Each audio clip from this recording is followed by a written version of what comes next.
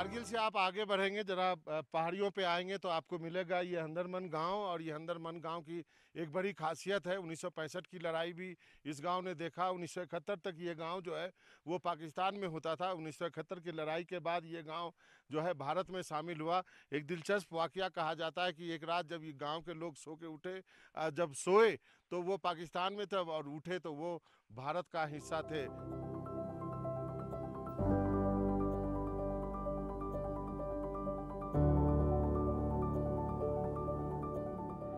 Patient पे तो मैं तारीबत इतना था।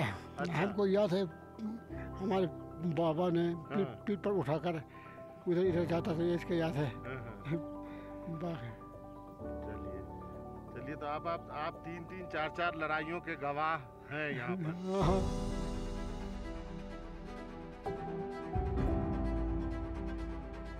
करगिल के लड़े तो बहुत सख्त हुआ। यहाँ से हर जगह करगिल का हुआ तो बोलते हैं द्राज में या बटालिक में। मगर हर जगह अपना ये सौद एरिया है। उसमें भी बहुत गोला आता था, जो जो भी गोला आता था, उसमें जलाता था। छोटा छोटा गोला इसमें गिरता था, बड़ा भी गिरता था।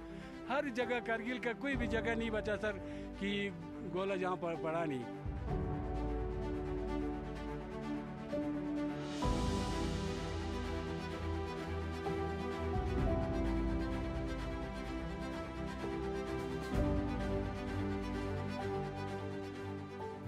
पाक- ये हुंदरमो ब्रोक। हाँ। बाद में हो गया हुंदरमान पहले हिंदर हंदरमन ब्रुक था। पहले हुंदरमो ब्रोक हाँ। हाँ। बाद में हो गया हुंदरमान बाद में हुंदरमन हो गया। हाँ। हुंदरमन कौन था? हुंदरमान यही गाँव था। गाँव था। हाँ। मेजर था कोई आर्मी का? आर्मी का एक मेजर था। हाँ तो ये गाँव कब तक पाकिस्तान में था? ये तो कब से था पता नहीं मुझे तो हाँ। उन्नीस सौ इकहत्तर में तो हम पाकिस्तानी बन गया। 1971 में आप पाकिस्तानी ये गाँव था। ये गाँव था तो इंडिया में कब आया? इकहत्तर से आ गया ना। इकहत्तर के बाद ये अ, हिंदुस्तान में शामिल हो गया। हिंदुस्तान में से बना गया। उस समय का आपको कुछ याद है बताइए? कुछ याद तो क्या याद है जनाब? अभी लड़ाई उड़ाई का कुछ याद है? लड़ाई की याद है। हाँ बताइए ना। हम्म। लड़ाई की याद है बिल्कुल नॉर्मल लड़ाई हो गया लड़ाई ज़्यादा नहीं हो गया था। अच्छा। इकहत्तर में। लड़ाई ज़्यादा हो गया नाइन्टी नाइन में।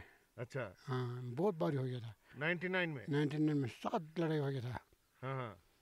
99 का याद हो तो होगा तो बताइए। अभी तो ये तो कारगिल वार की बात कर रहे हैं ना। हाँ कई बार के उसके बारे में बताइए। उसके बारे में क्या याद है आपको? उस बार में हम इधर गाँव में था। हाँ हाँ। इधर गाँव में था और इधर गाँव में रहा। हम हाँ। कहीं भी नहीं बच गया हाँ। कहीं भी नहीं गया इधर बैठा था। हाँ हाँ। तो उधर आर्मी का मूवमेंट हो रहा था पूरा आप लोग। गाँव का कितना लोग था यहाँ पे? पूरा पूरा था इधर। अच्छा। कोई नहीं बच था। अच्छा। बाकी बहुत बच गया है कारगिल वाला बहुत बच गया। हाँ।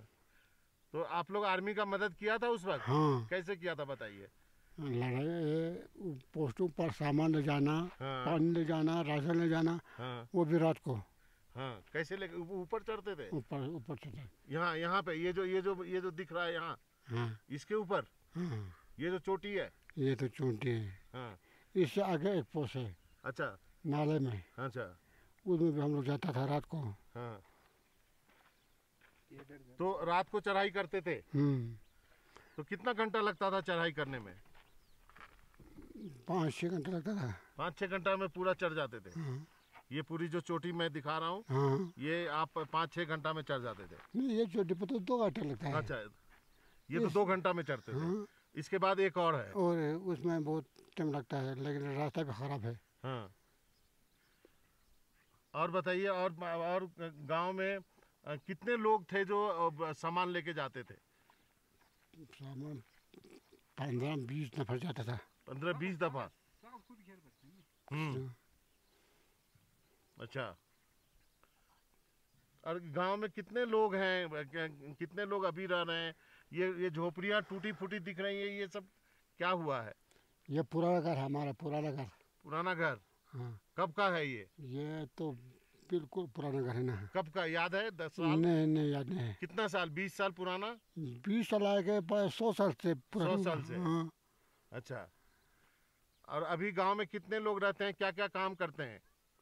गाँव में वही उधर पढ़े जाते हैं। हाँ। और तो बस और कुछ कम नहीं है। गाँव पूरा सूख गया ना। हाँ हाँ। कोई पानी नहीं है। आबादी बिल्कुल है नहीं है। हम्म, हम्म। काम तो क्या करना है? तो आपका कहना है कि आपको कारगिल वॉर का ज़्यादा याद है। कारगिल वॉर बहुत ज़्यादा मुश्किल से बहुत जोरदार लड़ाई हुई थी। हाँ बहुत जोरदार लड़ाई हुई थी। किधर से किधर किधर से ल- ल- लड़ाई होती थी जरा बताएँ। ये ये है ना ये चुपड़ी है। ना हाँ इसकी अंदर गोले जाकर फट गया था। किसके अंदर? ये हाँ हाँ। ये ये जो घर दिखा रहे हैं? ये, ये दो मंजिला घर था। हाँ ये। हाँ, इसका अंदर गोला जा, जा, जाकर फट गया था। अच्छा अब वो वो गोला कहाँ से आया था? क्या पता कहाँ से आता है किसको पता है? अच्छा नहीं मेरा कहने का मतलब कहीं से मारा होगा ना? कहीं से तो मारा होगा ना। हाँ हाँ। और और कितना नुकसान हुआ था उस उस वक्त गाँव में जब एक गोला एक ही गोला और भी तो गोला बहुत लग गया था सर। हम्म। बहुत गोला लग गया था। हाँ। तो अभी तो जगह नहीं है। हम्म हम्म। चलिए। तो इकहत्तर में ये ये आया इंडिया में। हम्म, इकहत्तर के पहले ये गाँव था पाकिस्तान में। पाकिस्तान में। और सिक्सटी फाइव उस वक्त पैंसठ। पैसा में तो मैं तकरीबन इतना था। अच्छा। हमको याद है हमारे बाबा ने पीठ हाँ। पीठ पर उठाकर उधर इधर जाता था इसके याद है। हाँ हाँ। चलिए चलिए तो आप आप आप तीन तीन चार चार लड़ाइयों के गवाह हैं यहाँ पर। हाँ, तो ठीक है आपका नाम क्या है? मेरा नाम हनीफा। हनीफा हाँ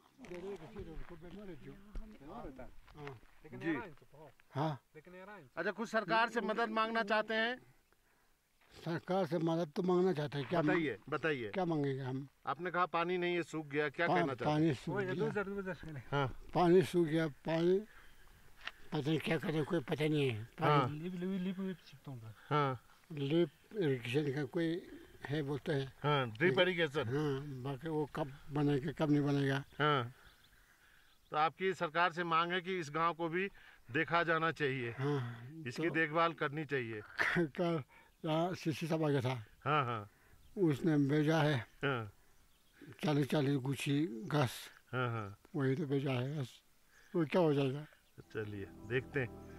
चलिए आप उम्मीद करते हैं कुछ हो जाए।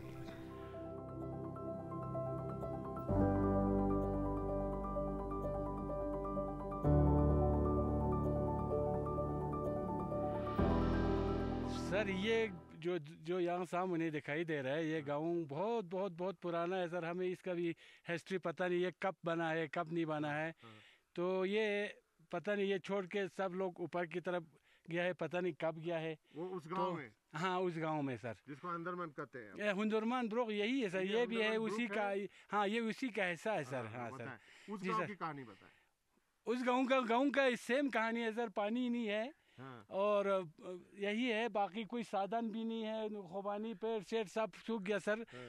बिल्कुल पानी नहीं है गवर्नमेंट कुछ इस पे काम नहीं कर रहे सर। तो अभी हमने बार बार बार बार रिक्वेस्ट किया पाँच साल से यहाँ पे खुश साली आया हुआ है। बार बार दरख्वास्त किया सीसी को डिस्ट्रिक्ट ऑफिसर सबको बोला कि हमें यहाँ लिफ्ट करके पानी निकाल दिया जाए। अब वहाँ पे एक एक वो है सर क्या बोलते हैं जल जीवन का पाइप निकाल रहा है। तो उसमें पानी हम समझते पानी उसमें क्या डालना है क्या नहीं डालना है पता नहीं। अब पाइप तो बिछा रहा है। अच्छा पाइप बिछा रहा है। चलिए हाँ, ये हाँ। तो होगी जी सर। उस गाँव ने कितने कितनी लड़ाइयाँ देखी हैं? उस गाँव ने बहुत लड़ाई देखा बहुत देखा सर। पैंसठ का लड़ाई और ये डोगरा राज की लड़ाई। और उन्नीस सौ इकहत्तर तक वो गाँव क्या था? पाकिस्तान में पाकिस्तान के अंदर थे जी। बताइए।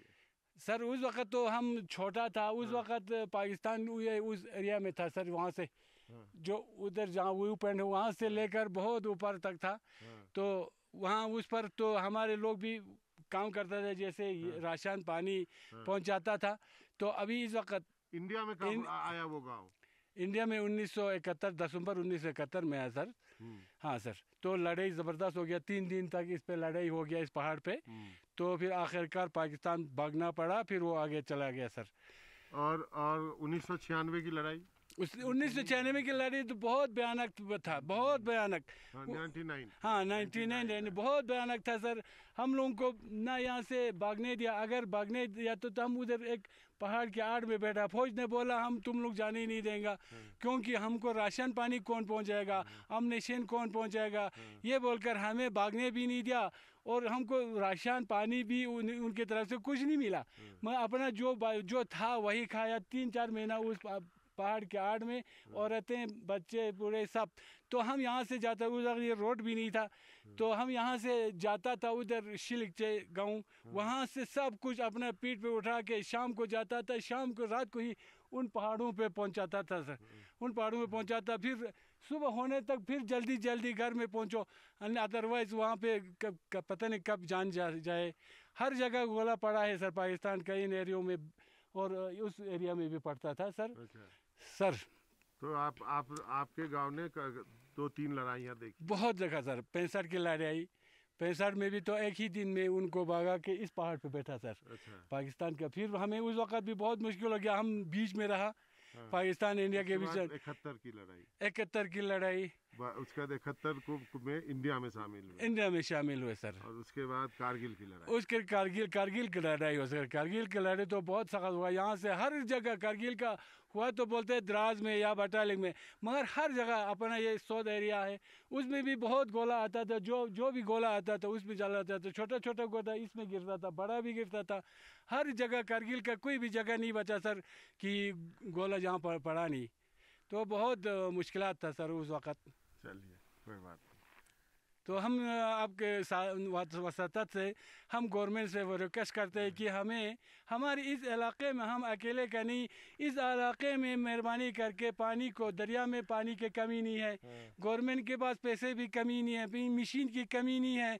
कहीं से भी पानी निकाल के हर जगह को पानी दे सकते हैं आबाद कर सकते हैं हमारे मुश्किल हर कर सकते हैं। सर शुक्रिया सर आप हमारे यहाँ पे तशरीफ़ लाए बहुत बहुत शुक्रिया। चलिए ठीक